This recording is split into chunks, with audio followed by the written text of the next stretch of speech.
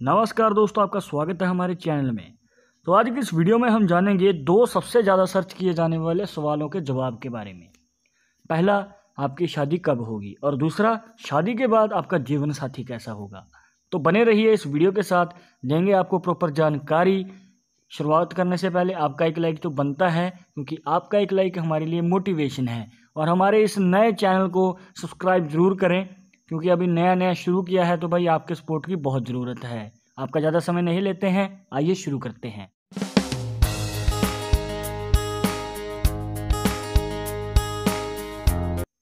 तो यहाँ पर शुरुआत करने से पहले, जैसे कि मैं हर वीडियो में बताता ही हूँ कि अगर आप लड़के हैं तो अपने राइट हैंड में, अगर लड़की है तो अपने लेफ़्ट हैंड में इस जानकारी को देखिएगा। और इसी के साथ अगर आप चाहते हैं अपने हाथ को पर्सनली एनालाइज करवा के अपनी समस्या का समाधान तो लिंक है डिस्क्रिप्शन में हमारे इंस्टाग्राम अकाउंट का, जाकर आप हमें वहाँ पर फॉलो कर सकते हैं। और अगर आपके हाथ में मुझे लगा कुछ अलग ही किस्म का निशान, कुछ यूनिक किस्म का निशान तो आपको मौका मिल सकता है अपने हाथ को नेक्स्ट वीडियोज़ में दिखाने को। तो ये भी हाथ हमारे ही सब्सक्राइबर का है। पर यहाँ पर भाई हम जानेंगे पहले तो कि आपकी शादी कब होगी। तो ये सबसे ज़्यादा सर्च किया जाता है सवाल, आपको देखना कहाँ पर है? अपने बुद्ध पर्वत पर।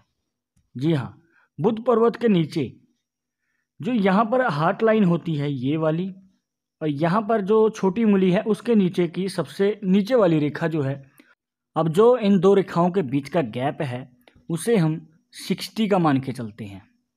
जी हाँ सिक्सटी। अब जो हाफ़ है, उसे हम ट्वेंटी फाइव का मान के चलते हैं। वो क्यों हम आगे बात करेंगे इसके बारे में?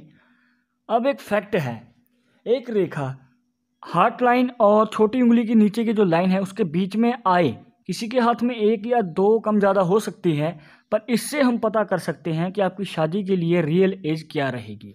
वो कैसे? जो मैंने हाफ़ बताया, और आपकी जो छोटी उंगली की नीचे वाली लाइन है, उसके बीच में आई कोई रेखा, जैसे कि इनके हाथ में आ रही है। जो नज़दीक है छोटी उंगली के नीचे वाली लाइन के तो हम प्रडिक्ट कर सकते हैं आराम से कि इनकी शादी 25 से 30 साल की उम्र के बीच में होगी।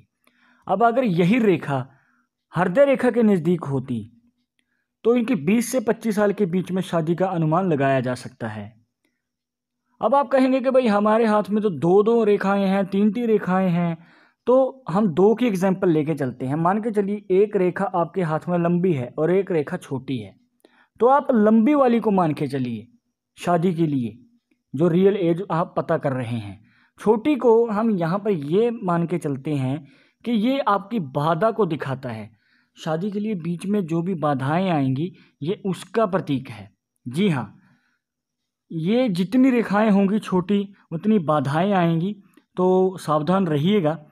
अब एक फैक्ट बताते हैं, एक और कि आप कैसे जान सकते हैं कि आपका जीवन साथी कैसा होगा?